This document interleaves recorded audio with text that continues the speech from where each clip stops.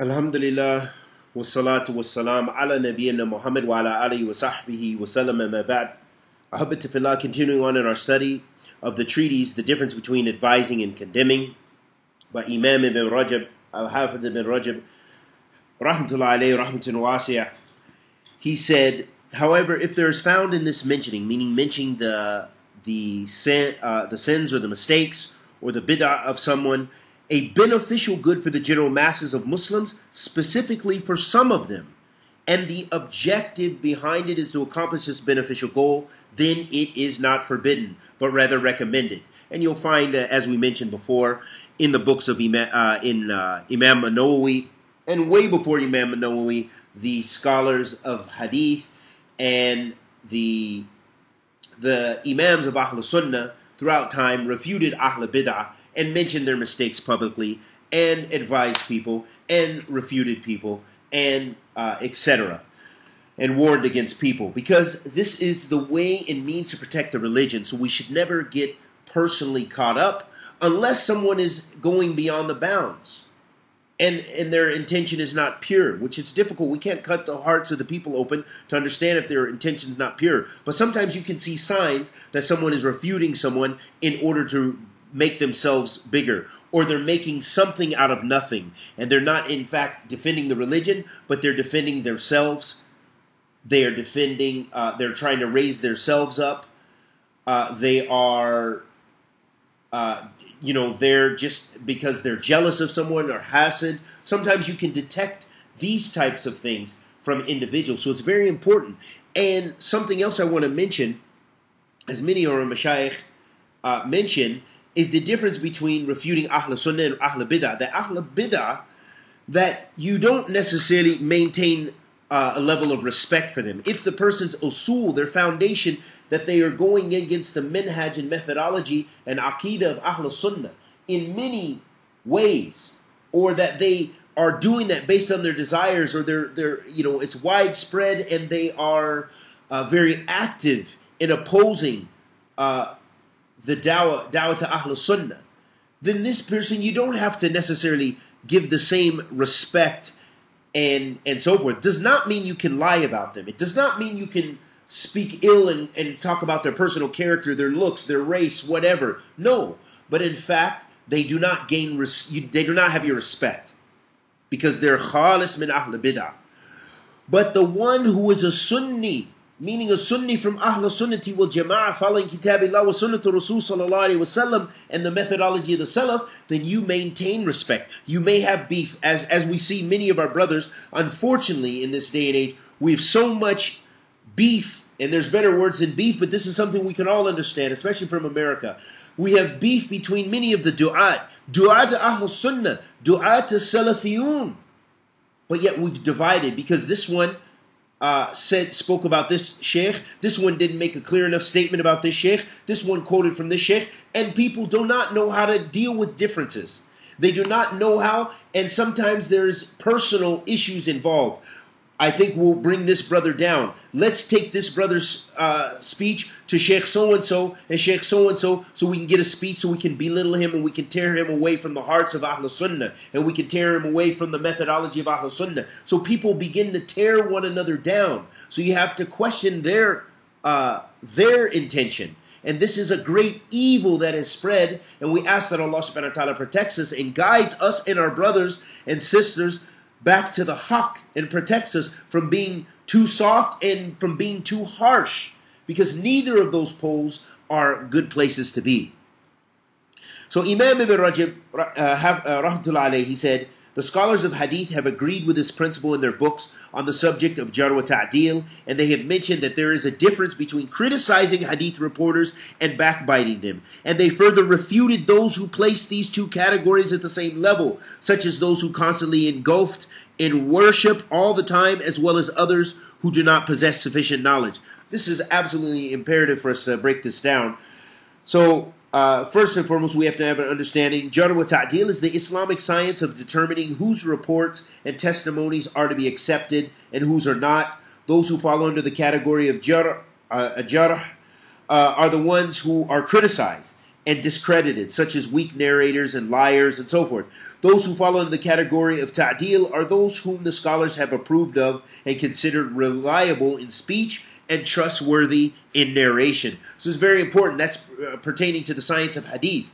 But also, these principles are have an applicability with how we deal with one another.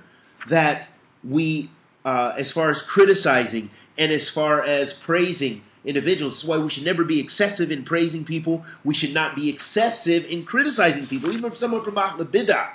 Even from someone from Ahl Bidah, because you don't know, maybe they will make Toba and maybe they'll come back and they will be your brother and you won't have it in your heart because you spoke so harshly against them and maybe said evil things about them that you will not be able to go back from your speech because you'll have too much pride. And by Allah, I've seen this. We've seen it many times, even amongst mashayikh. We know people who we considered from our ulama, who fell into some extremism. And some of the things they said about some of the other mashayikh, saying that they were so and so is like a dog, or the son of a dog, or or, or he's uh, uh, Ibn Iblis, the son of Iblis, or whatever. Things like this, such strong statements that if that person makes Toba, how will this individual be able to even relate to them, and and how will how will they be able to establish the, the love uh, between Ahl Sunnah? Because one person has went so far in his criticism, speaking so harsh against another individual, instead of leaving things to the hudud, leaving things to the Islamic boundaries, and not going beyond those boundaries, and not being too excessive and excessive in one's hatred. So it's very important, important for us to strive to have that balance as best as we can. And uh, an important thing uh, Hafidh ibn Rajab said, and they further refuted those who replaced these two categories at the same level, meaning those people who, uh, you know, who were uh, who who basically ignored those categories, or that they made, uh, you know, they they they uh, refused to uh, to speak about innovators when they had the ability and the knowledge to you know, or they reject that science altogether And those qawaid that defended the religion. And then those people who are excessive in that. All of those things are negative, and Ahl Sunnah, Ahl Hadith, they refuted those people. They refuted those people who made backbiting and advising the same. Because in fact, it's two different things. One is mithmum, one is negative, and the other one is positive. That the Prophet ﷺ said, "Adin and nasiha." The religion is sincere advice. So you have to advise your brother when he's making a mistake. And even if he's from Ahl Bidah, it doesn't harm you to give them advice if you have the ability uh, to do so.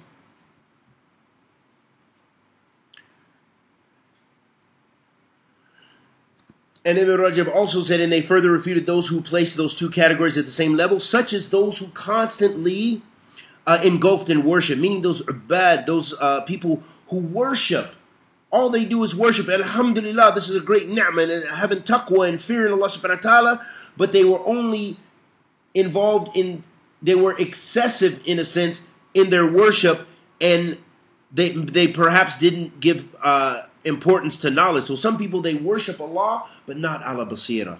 And it's also important to have knowledge in these issues. So not everyone should get involved in these issues. And as we've read on countless times, and let's see if we can find a statement by Imam uh, Imam uh, Fawzan, Hafidullah Ta'ala, he said, and this is a beautiful statement, and it's very relevant to what we're studying here. He said, لا ينبغي لطلبة المبتدئ المبتدئين المبتدئين وغيرهم من العامة أن يشتغلوا بتبديع وتفسيق لأن ذلك أمر خطير وهم ليس عندهم علم ودراية في هذا الموضوع. وأيضا هذا يحدث العداوة وبغضاء بينهم فالواجب عليهم فالواجب عليهم الاشتغال بطلب العلم وكف ألسنتهم عما لا فائدة فيه بل فيه مضرة alayhim wa ala ghayrihim. Very important, ahabati fillah. So Imam uh, Fawzan said, It is not permissible for the beginning student of knowledge or other than them, from the general Muslims, from the uh, awam, to busy themselves with uh, declaring people to be innovators and to declare people to be fasiks And also likewise with takfir, of course, min baba ola. And he said, لِأَنَّ ذَلِكَ أَمْرٌ خَطِيرٌ Because this is a dangerous issue. This is a dangerous affair. And they don't have the knowledge.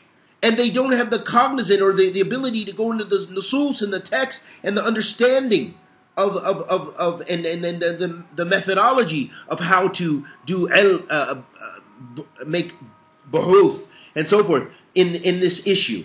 Also, this brings about enmity and hatred between them if they get involved in this. So it's an obligation upon them to busy themselves with seeking knowledge and restraining their tongues on those things which there's no benefit for them in it. Rather, instead, it is harmful and is harmful to others from them. Meaning, if people don't have the ability, they don't have the knowledge, don't get involved in these affairs about us speaking about Ahl Bidah and trying to refute people because you need ilm and you need fiqh fi deen. And